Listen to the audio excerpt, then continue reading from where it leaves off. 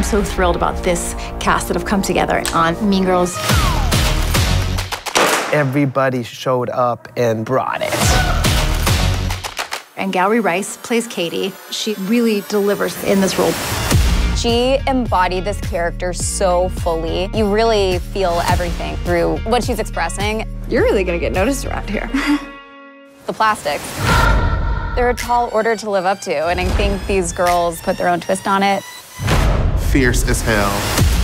Queen Bee, Regina George, is Renee Rapp. Already a fan favorite. Fierce, phenomenal talent. She's powerful, she's sexy. Get in, loser. Avantika plays Karen.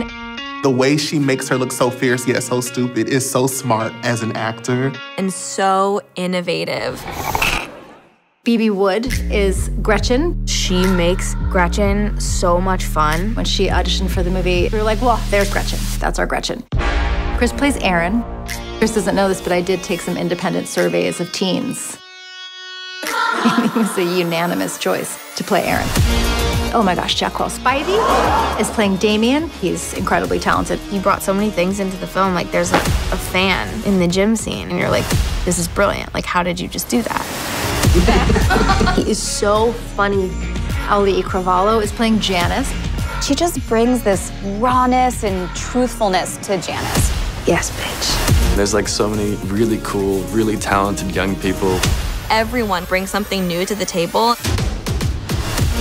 So many people. Ashley Park. Jon Hamm. Jenna Fischer. Busy Philipps. Tim Meadows. And Tina Fey.